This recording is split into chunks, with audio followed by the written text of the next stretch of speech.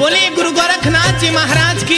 जय हो बोले सिकोपुर धाम की। जय हो एक गुरु गोरखनाथ जी महाराज का सेवक। बाबा के धुने की सेवा करता रहता।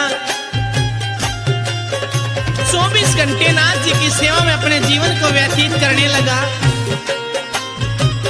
लेकिन गुरु गोरखनाथ जी महाराज ने अपने बेटे को दर्शन नहीं दिए।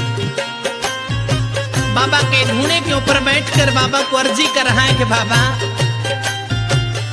ऐसा कौन सा कर्म मेरे हाथों हुआ कि आज तक आपके दर्शन नहीं हुए? बाबा, एक बाप अपने चौदह सौ चेला के साथ अपनी जमात के साथ मुझे दर्शन दो। मैं भी आपकी जमात में लड़ना चाहता हूँ, आपका चेला बनना चाहता हूँ। कैसे गुरु गोरखनाथ जी महाराज का शिष्य बाबा को बुला रहा है। आइए एक भजन सुनिए कैसे।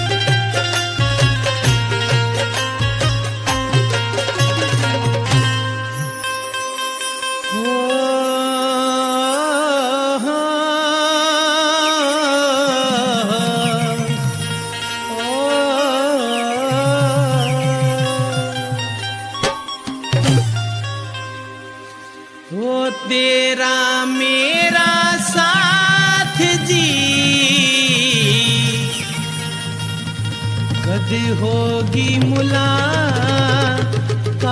जी।